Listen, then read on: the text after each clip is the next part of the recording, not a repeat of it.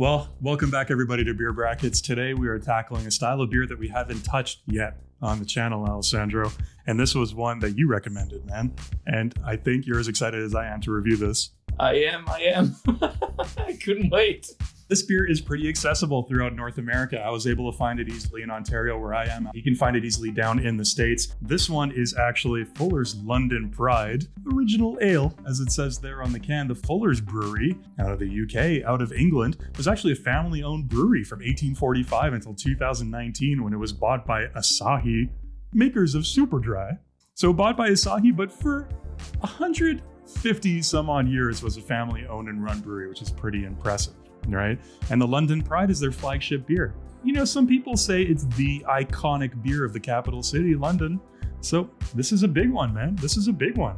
For anybody who doesn't know, we're actually going to have an Inside the Brackets episode that you can keep an eye open for, where we're going to explore this style of beer a little bit further. So we won't go into too much detail on it right now.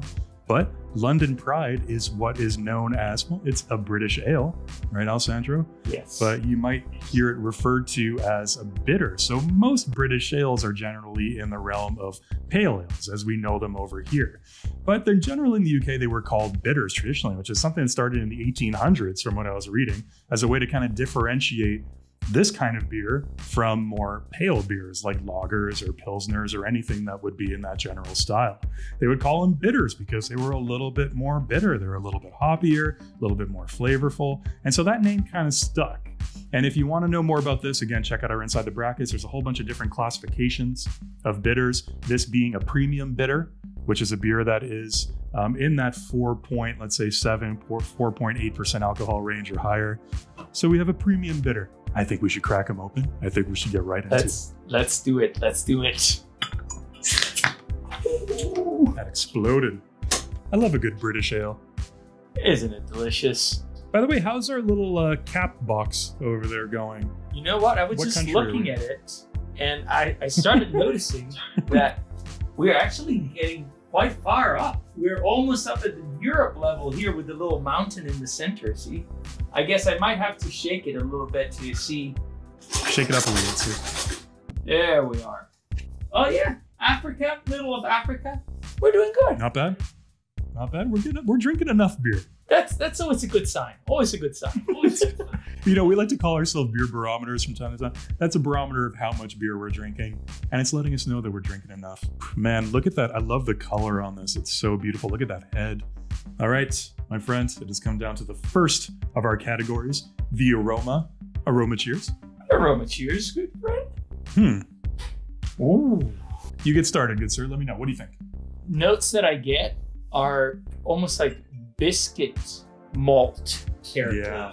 It's sweet. It's it's not quite savory as we normally tend to go toasty. It's mm. more on the sweet side of the, the malt spectrum. And then more on the sweet side. You have all these subtleties of hops aromas that are coming through to me more as a little bit of underlying earthiness. Oh man, like it's it's complex. It's nice. It's and it's inviting it could almost be a three if it wasn't that like the sweetness at least for me on this one here it's a little yeah. bit overpowering so i really gotcha. like it but the fact that it's almost like has that like sweet malt character is a little bit too much for me to bring it up to a three so i'm going to stick with a two on this one yeah, no, two out of three I think is a very, very fair score. There's definitely some maltiness on the aroma and raisins and biscuits. So, uh, however you would break that down, but there's definitely those two main things that are clashing together on it. And I think that's a characteristic of this type of beer. Um, so it was expected, and they do it really well. It's really balanced. I find the aroma's not overwhelming. It doesn't it doesn't jump out of the glass as much as I was expecting it to but it's nice. Um, you know, if I, for me to be a three on three, I would just want it to be a little bit stronger. And it's interesting that you mentioned that the sweetness was a little strong. Maybe it has something to do with the fact that you're drinking it out of a bottle instead of how I have it out of the can. Maybe there's a little bit of a difference there, but the aroma's a little bit muted on mine. So it's a two on three for me as well. This is great. Really, really delicious. I'm excited to taste. My friend, this is our favorite part. Cheers. Cheers. Let's go right in for the taste. Mm, yeah. And that's oh, really wow. nice. Yeah. Yeah. Here, mm.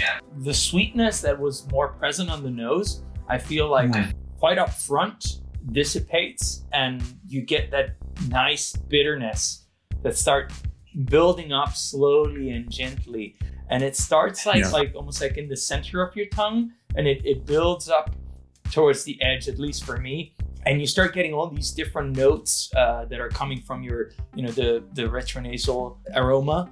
Uh, so you start getting that earthiness that i was talking about more distinctly. Yeah. the raisins are showing up. And the breadiness that sweet biscuit breadiness is coming up at the end for me. Definitely the bitterness is what i what predominates here on the palate. I think still like i'm going to stick with the two. Uh, not because i don't like it actually i like it a lot but to push it up to a three it would really need to have some binding element there i feel like it's almost like it, it shifts immediately to that bitterness and then like it fades a little bit. So there's there's a little bit of a lack there on the palate for me at least. What do you think, my friend? Man, I'm a little torn on this one. So, you know, there's definitely, you can taste the hops. It's a little bit more hop forward than what I was expecting from uh, a British ale. This one is a little bit more subtle than I expected. So the, the hops are there, but I was looking for something else as a base, either for, um, you know, they talk about the biscuit a lot when you read about this beer. Uh, when you go on their site, the first thing they say is, you know, a really biscuity aroma and taste, you know, raisins, deep dark fruit. And I'm getting a little hints of that, but I would have liked more of it on the taste. It's a little bitterness forward for me. Um, and I, I would like more of a stronger sort of bready base. And it, it's a little subdued. I find it's a little, um, you know, we were just talking about the Abbot Ale, which that one was a little bit more full bodied. You have the raisins, you have the biscuit and the bread, and you know the standard things from the British Ale. They're there, but they're much more forward on the taste, which I really enjoy. I'm actually going to give this one a one on three for the taste, not because it's not good, just because I'd want more. It's leaving me wanting a little bit more. Everything that's there is really nice, but come on, come on, Fuller's, give me more. Give me more of that. but you know what? That makes it really easy drinking. So I think that's a positive for some people, but for me, breaks it down to a one. But my friend, you know, for mouthfeel, you know what we got to do. It's refresh time. It's refreshing time. Look at that. Look at that. Beautiful. It's a beautiful looking beer. I got to It say, the color that they get on it, it's fantastic. If we, if we had a rating for for coloration, this would be a solid three on three. It's amazing, isn't it? Like a jewel Yeah. there in the glass. It is like a jewel, like an amber jewel. It's kind of like those, you know, those pieces of amber in Jurassic Park. The, you know, the Mm. little the mosquitoes were trapped in for millions of Perfectly years. that said, they- my friend. that they took the DNA out of in order to make the T Rex that attacked uh, that attacked Newman from Seinfeld. We're taking one last sip. Mm. Mm. So on the mouthfeel, I think this for me is where it's it's falling a little bit short compared to the first two categories, in the sense that it's very light, it's refreshing, but it has a little bit. And again, like that might depend on the fact that I'm drinking out of the bottle. Like I'm sure, uh, you know, on on tap it would be a completely different story. It has a little bit of that stickiness that uh, I Mhm. describe it as stickiness. Uh, it is this feeling that leaves on my tongue that I, I find a little bit off putting for me. Uh, so it can't quite make it up there in the high numbers. So I'm gonna stick with a one here on the mouthfeel for me. It, it's good, but it's it's it's a one. It's a solid one. Yeah, you know what? I agree. It's a one on three for me as well. Hmm. I'm gonna take another sip. There's a very decent amount of carbonation. It's it's very bubbly. It's very pleasant in that sense. It's the bitterness is a little bit a little bit forward in a sense as well. So you, get the tingling from the bitterness, the carbonation. Aside from that, there's not much else. Like you said, it's a little bit oily, a little bit sticky. There's nothing too interesting there. It's kind of really basic in terms of a mouthfeel. There's nothing offensive, but you know, it's good. It's good enough. So it's a one on three mouthfeel. The finish, I think, is where this beer gets really interesting. So I'll let you go ahead and tell me what you think. Oh, I can't agree more, my friend. Like the finish, I think is where, uh, at least in my experience, a lot of the British ales really shine in the fact that the way they use the hops to present the finish is quite unique.